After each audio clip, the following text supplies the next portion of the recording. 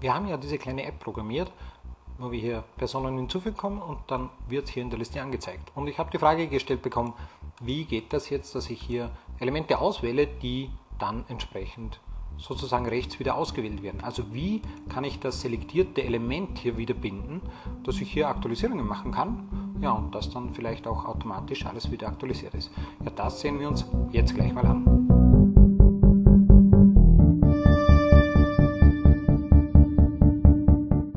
Also das, was wir brauchen, ist das selektierte Element aus der Liste. Ähm, das wollen wir binden. Also hier ist die Listbox und hier gibt es eine Eigenschaft, die heißt Selected Item und diese können wir natürlich binden und wir binden diese auf eine Person und die Person, die wir eben rechts gebunden haben, ist die New Person. Also die Eigenschaft New Person, äh, wir müssen natürlich das Item auf eine Person selektieren, weil auch die ganzen Item Sources Personen sind. Es gibt auch Selected Index, falls wir irgendwo ähm, sagen wollen, das ist das fünfte Element oder sowas in der Art. Also, wenn wir das jetzt binden und die Applikation wieder starten, dann passiert schon mal hoffentlich wahrscheinlich was Tolles, nämlich wir können hergehen und können sagen, äh, Max Muster ist im Sales, die Susi Müller im Backoffice und der Dev, Dave, Dave, Dev ist im Development. So, und wenn ich hier jetzt ein Element auswähle, dann sehe ich, dass rechts die richtige Person gleich ausgewählt ist, so wie es sein soll.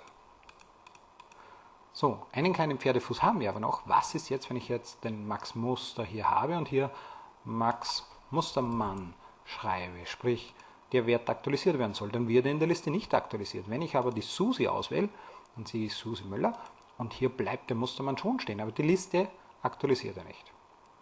Ihr könnt überlegen, warum aktualisiert er die Liste nicht? Die Antwort ist meistens, weil er es nicht weiß, dass er es aktualisieren muss. Und wie können wir ihm es mitteilen? Und in der Oberflächenprogrammierung ist die Antwort meistens durch ein Event.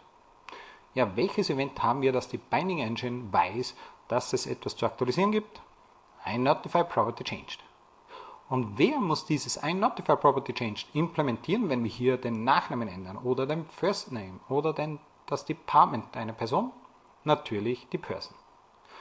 Ja, wenn ich jetzt wieder ähm, das sozusagen mache, dann gehe ich hier hin. Die Person ist ein I notify property changed. Ja, deswegen gibt es möglicherweise auch eigene Klassen, die für den Data Transfer sind, ähm, also zur Übertragung gegen die Datenbank oder so, und eigene Klassen für die äh, Anzeige in der View, ja, weil wir da vielleicht bestimmte Interfaces haben, die wir so nicht wollen. Ja, und jetzt kommt wieder das Tolle, aus den ganzen kurzen Eigenschaften werden genau die langen Eigenschaften. Ich mache das mal etwas schneller.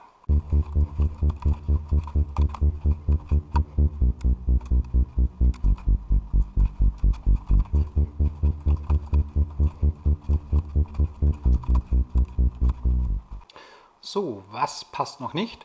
Wenn sich dieser Last Name ändert, ändert sich automatisch der Full Name. Wenn sich der First Name ändert, ändert sich automatisch der Full Name. Das heißt, im Race Property Changed brauchen wir nicht nur das, dass sich diese Eigenschaft geändert hat, sondern auch der Full Name.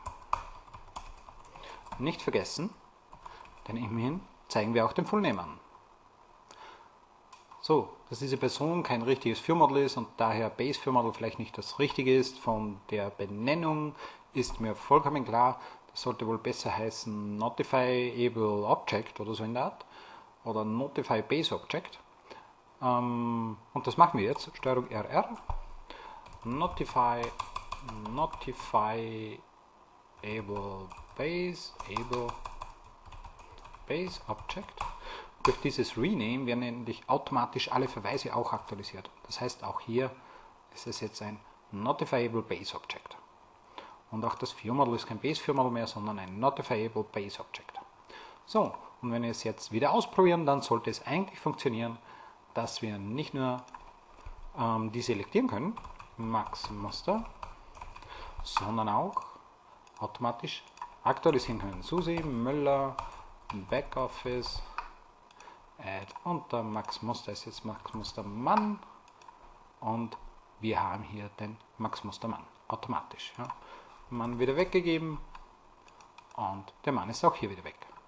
Also Selected Item einfach gebunden auf das Objekt, das wir haben wollen. Ja, auch das Selected Item ist dann, wir binden hier eine ganze Liste, eine Observable Collection und wenn wir eine zusätzliche Eigenschaft bereitstellen, wo ein einzelnes Objekt ist, nenne ich das Selektierte, dann können wir das binden und dann funktioniert das auch.